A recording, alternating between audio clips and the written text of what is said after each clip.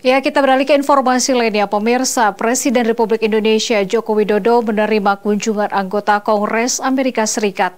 Dalam pertemuan tersebut, para delegasi Kongres menyampaikan komitmen Amerika Serikat untuk terus meningkatkan kerjasama dengan Indonesia dalam konteks kemitraan strategis atau strategic partnership.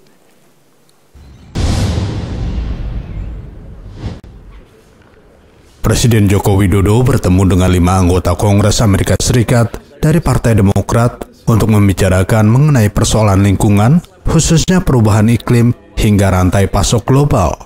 Dalam pertemuan tersebut, Presiden Joko Widodo didampingi Menlu Retno Marsudi, Menteri Lingkungan Hidup dan Kehutanan Siti Nurbaya Bakar, dan turut hadir Duta Besar Amerika Serikat untuk Indonesia, Sung Ye Kim.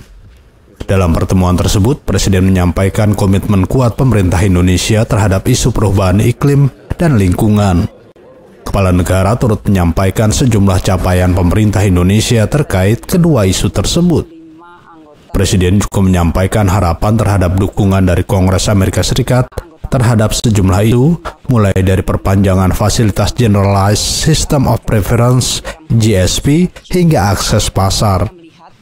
Sebelum melakukan pertemuan dengan Presiden, para delegasi Kongres Amerika Serikat juga telah melakukan pertemuan dengan Menlu Retno Marsudi serta Menteri Lingkungan Hidup dan Kehutanan Siti Nurbaya Bakar. Para delegasi Kongres Amerika Serikat juga akan berkunjung ke ibu kota Nusantara. Nusantara TV melaporkan.